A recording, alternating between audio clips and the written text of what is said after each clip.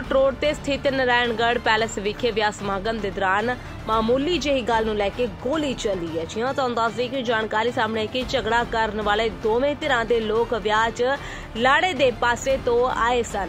ਜ਼ਖਮੀ ਵਿਅਕਤੀ finance company ਦਾ ਮਾਲਕ ਦੱਸਿਆ ਜਾ ਰਿਹਾ ਹੈ, ਜਿਸ ਦੀ ਪਛਾਣ ਗੁਰਲਾਲ ਸਿੰਘ ਸੰਧੂ ਵਾਸੀ ਗੱਟਾ ਬਾਦਸ਼ਾਹ ਫਿਰੋਜ਼ਪੁਰ ਵਜੋਂ ਹੋਈ ਹੈ। ਪੁਲਿਸ ਤੋਂ ਮਿਲੀ ਜਾਣਕਾਰੀ ਦੇ ਮੁਤਾਬਕ ਗੁਰਲਾਲ ਸਿੰਘ ਜੋ ਕਿ ਪਿੰਡ ਗੱਟਾ ਬਾਦਸ਼ਾਹ ਤੋਂ ਮੁਕਤਸਰ ਸਾਹਿਬ ਦੇ ਨਾਰਾਇਣਗੜ੍ਹ ਪੈਲੇਸ ਤੱਕ ਬਰਾਤ ਨਾਲ ਆਇਆ ਸੀ। ਵਿਆਹ ਵਿੱਚ ਸਾਰੇ ਦੋਸਤਾਂ ਤੇ ਰਿਸ਼ਤੇਦਾਰ ਡੀਜੇ ਤੇ ਭੰਗੜਾ ਪਾ ਰਹੇ ਸਨ। ਇਸ ਦੌਰਾਨ ਸਟੇਜ ਸੰਚਾਲਕ ਵੱਲੋਂ ਗੁਰਲਾਲ ਦਾ ਤੇ ਉਸ ਦੇ ਹੋਰ ਦੋਸਤਾਂ ਦੇ ਨਾਮਾਂ ਦਾ ਵਾਰ-ਵਾਰ ਐਲਾਨ ਕੀਤਾ ਜਾ ਰਿਹਾ ਸੀ, ਜਿਸ ਕਾਰਨ ਦੂਜੇ ਗਰੁੱਪ ਵਿੱਚ ਝਗੜਾ ਹੋਇਆ ਤੇ ਫਰੀਦਕੋਟ ਦੇ ਪਿੰਡ ਮਨੀਵਾਲ ਵਾਸੀ ਹਰਮੇਸ਼ ਸਿੰਘ ਜੋ ਕਿ ਲਾੜੇ ਦਾ ਰਿਸ਼ਤੇਦਾਰ ਸੀ, ਭੜਕ ਗਿਆ ਤੇ ਗੁਰਲਾਲ ਨੂੰ ਗਲਤ ਬੋਲਣ ਲੱਗਿਆ। ਇਲਜ਼ਾਮ ਲਗਾਏ ਜਾ ਰਹੇ ਸਨ। ਤੋਂ ਅੰਦਾਜ਼ੇ ਕਿ ਇਸ ਦੌਰਾਨ ਉਹਨਾਂ ਪਿਸਤੌਲ ਕੱਢ ਕੇ ਗੁਰਲਾਲ ਵੱਲ ਸਿੱਧੀ ਗੋਲੀ ਮਾਰ ਦਿੱਤੀ। ਗੁਰਲਾਲ ਦੀ ਹਾਲਤ ਹੁਣ ਕਾਫੀ ਗੰਭੀਰ ਬਣੀ ਹੋਈ ਹੈ।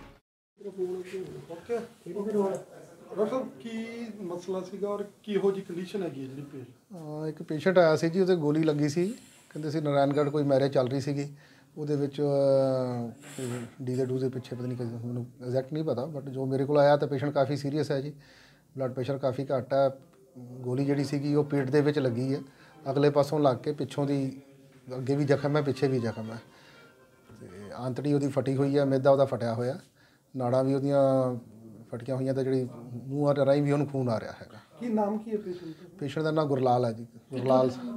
ਇਹ ਗੱਟਾ ਬੋਧਸ਼ਾ ਕੋਈ ਹੈ ਪਿੰਡ ਮੱਖੂ ਦੇ ਕੋਲੇ ਹੈ ਜੀ ਫਿਰੋਜ਼ਪੁਰ ਡਿਸਟ੍ਰਿਕਟ 'ਚ। ਕਿਹੋ ਜੀ ਕੰਡੀਸ਼ਨ ਕਹੀ ਜਾ ਸਕਦੀ ਪੇਸ਼ੈਂਟ ਕਾਫੀ ਸੀਰੀਅਸ ਹੈ ਜੀ ਹਜੇ। ਤਾਂ ਫਿਲਹਾਲ ਪੁਲਿਸ ਨੇ ਗੁਰਲਾਲ ਸਿੰਘ ਦੇ ਭਰਾ ਦੇ ਬਿਆਨਾਂ ਦੇ ਆਧਾਰ ਤੇ ਮਾਮਲਾ ਦਰਜ ਕਰ ਲਿਆ। ਸਰ ਕੀ ਮਾਮਲਾ ਹੋਇਆ ਹੈਗਾ ਔਰ ਹੁਣ ਤੱਕ ਦੀ ਕਾਰਵਾਈ ਕੀ ਹੈ? ਇਹਨਾਂ ਨਰੈਣਗੜ੍ਹ ਪੈਲਸ ਹੈ ਮਲੋਟ ਰੋਡ ਤੇ। ਉੱਥੇ ਯਾਦਵਿੰਦਰ ਸਿੰਘ ਨਾਂ ਦਾ ਜਿਹੜਾ ਵਿਅਕਤੀ ਸੀ, ਉਹਦੀ ਮੈਰਿਜ ਸੀ, ਸਾਧੂ ਸਿੰਘ ਵਾਲਿਆਂ ਤੋਂ। ਉੱਥੇ ਬਰਾਤ ਜਿਹੜੀ ਆਈ ਹੋਈ ਸੀ, ਉਸ ਦੇ ਵਿੱਚ ਰਿਸ਼ਤੇਦਾਰ ਵੀ ਉਹਦੇ ਆਏ ਹੋਏ ਸੀ।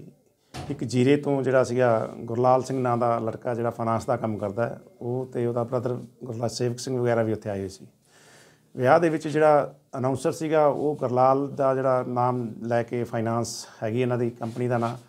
ਉਹਦੀ ਜਿਹੜੀ ਬਾਰ-ਬਾਰ ਨਾਂ ਬੋਲ ਰਿਹਾ ਸੀ ਤਾਂ ਜਿਹੜਾ ਸਰਪੰਚ ਹੈ ਹਰਮੇਸ਼ ਔਰ ਹਮੇਸ਼ਾ ਮਾਨੀ ਸਿੰਘ ਵਾਲੇ ਦਾ ਹੈ, ਨੇੜੇ ਸਾਦਕ ਦੇ ਰਹਿਣ ਵਾਲਾ। ਇਹਨੂੰ ਰੰਜਿਸ਼ ਹੋਈ ਵੀ ਇਹਦਾ ਨਾਂ ਕਿਉਂ ਲੈ ਰਹੇ ਨੇ। ਉਹਨੇ ਆ ਕੇ ਉੱਥੇ ਧੱਕਾ ਮੁੱਕੀ ਕੀਤੀ ਤੇ ਆਪਣਾ ਜਿਹੜਾ ਰਿਵਾਲਵਰ ਸੀ ਡੱਬੇ ਚੋਂ ਕੱਢਿਆ। ਉਹਦੇ ਨਾਲ ਉਹਦਾ ਫਾਇਰ ਕਰ ਦਿੱਤਾ ਤੇ ਜਿਹੜਾ ਗੁਰਲਾਲ ਦੀ ਛਾਤੀ 'ਚ ਵੱਜਿਆ। ਉਹ ਜਿਹੜਾ ਇੱਥੇ ਬਾਂਸਲ ਜਿਹੜਾ ਊਸ਼ਾ ਹਸਪੀਟਲ ਹੈ ਉੱਥੇ ਐਡਮਿਟ ਹੈ।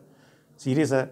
ਤੇ ਉਹਦਾ ਜਿਹੜਾ ਭਾਈ ਹੈ ਗੁਰਸੇਵਕ ਸਿੰਘ ਉਹਦੇ ਬਿਆਨ ਤੇ ਅਸੀਂ ਜਿਹੜੀ ਇਹਨਾਂ ਦੇ ਅਗੇਂਸਟ ਕਾਰਵਾਈ ਕਰ ਰਹੇ ਹਾਂ। ਸਰ ਰਿਵਾਲਵਰ ਜਾਂ ਕੁਝ ਇਸ ਤਰ੍ਹਾਂ ਦਾ ਪਤਾ ਲੱਗਿਆ ਕੋਈ ਲਾਇਸੈਂਸੀ ਜਾਂ ਸੀਸੀਟੀਵੀ ਫੁਟੇਜ ਵਗੈਰਾ ਕੁਝ ਨਹੀਂ ਅਜੇ ਤੱਕ ਕੋਈ ਪਤਾ ਨਹੀਂ ਲੱਗਾ।